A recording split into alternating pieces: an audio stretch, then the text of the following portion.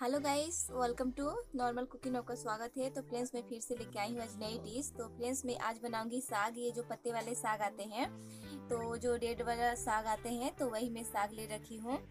तो यहाँ देखिए, इतना साग ले रखी हूँ और यहाँ ले रखी हूँ चने। तो मैं क्या करूँगी, दोनों चीज़ को मिला के बनाऊँगी, चने और साग को। तो यहाँ देखिए, चने और साग ले रखी हूँ। तो अब मैं क्या कर रही हूँ कि ये दोनों को साइड कर रही हूँ। और फ्रेंड्स उसके लिए देखिए, यहाँ ले रखी हूँ। फोरन देने के लिए यहाँ पर थोड़ा सा लहसुन और थोड़ा सा यहाँ पर कच्ची मिर्ची।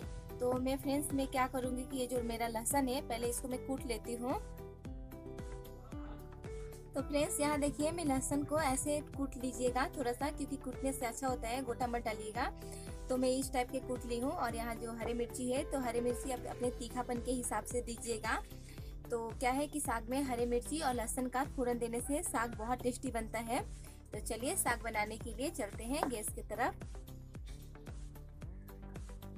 तो फ्रेंड्स, यहाँ देखिए मैं गैस पर कढ़ाई बिठा रखी हूँ और कढ़ाई में डाल रही हूँ खाने वाला ऑयल तो ऑयल को मैं अच्छे से गर्म होने देती हूँ। तो फ्रेंड्स, मेरा ऑयल अच्छे से गर्म हो गया है। तो अब मैं क्या करूँगी? इसमें डालूँगी ये जो मेरा कच्ची मिर्ची है, कच्ची मिर्ची को। और फ्रेंड्स अब मैं क्या करूँगी? ये जो मेरा अदरक है सॉरी लहसुन, मैं लहसुन को डालूँगी। और इसमें अच्छे से इसको थोड़ा सा पका लेती हूँ। तो 10 से 15 सेकंड में इसको लहसुन को और मिर्ची को तेल में ही पका लेती हूँ।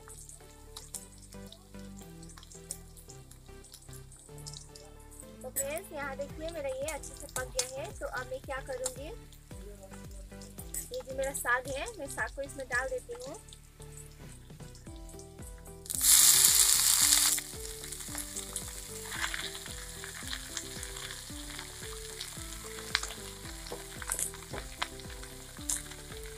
तो फ्रेंड्स, मैं साग को इसमें डाल दी हूँ। तो अब मैं क्या करूँगी कि ये जो मेरा चना है तो मैं चने को भी इसमें डाल देती हूँ। और अब मैं क्या करूँगी, इसको अच्छे से मिक्स कर लेती हूँ।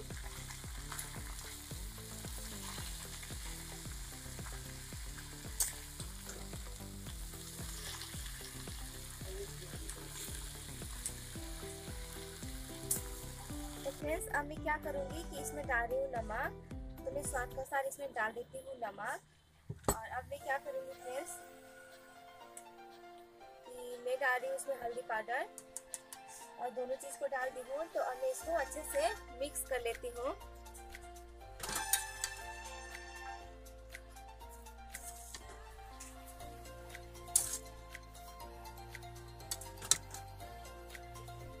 तो फ्रेंड्स, अब मैं क्या कर रही हूँ, इसको अच्छे से मिक्स कर ली हूँ तो फ्रेंड्स, अब मैं इसको कवर कर देती हूँ।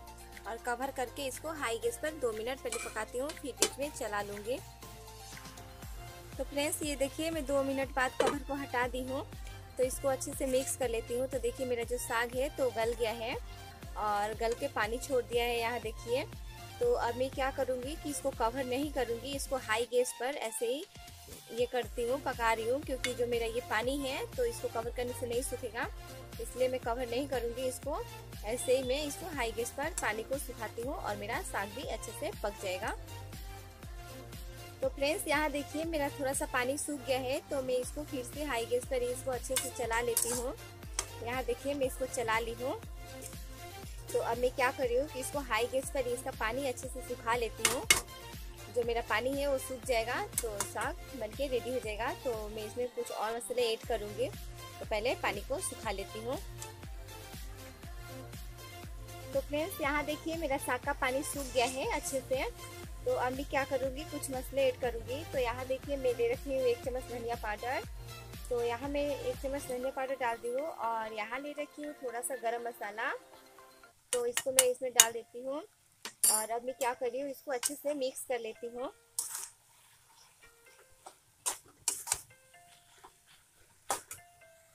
तो फ्रेंड्स यहाँ देखिए मैं इसको अच्छे से मिक्स कर ली हूँ। तो अब मैं क्या कर रही हूँ और मैं इसको हाई गैस पर एक मिनट ही पकाऊँगी बेसी देर नहीं। तो मैं इसको एक मिनट पका लेती हूँ हाई गैस पर। तो ये लीजिए फ्रेंड्स मेरा सब्ज़ी बन के रेडी है। तो मैं क्या कर रही हूँ गैस को ऑफ़ कर देती हूँ और सब्ज़ी को प्याले में खाली कर लेती हूँ। तो फ्रेंड्स ये लीजिए मेरा लाल साग और ये चने का सब्ज़ी बन के मैंने ये साग बन के रेडी है। और फ्रेंड्स एक बार ज़रूर ट्राई करिएगा, ये रेसिपी बहुत टेस्टी बनता है ऐसे साग। और जैसे कि मैं बताई थी कि लहसुन और ये कच्ची मिर्ची का ही फ़ोरन दीजिएगा। उससे क्या है, हमारे साग में बहुत स्वाद आता है। तो अगर मेरी रेसिपी अगर अच्छी लगी तो मेरी रेसिपी को वीडियो को लाइक करें शेयर करें और सब्सक्राइब करें। Thank you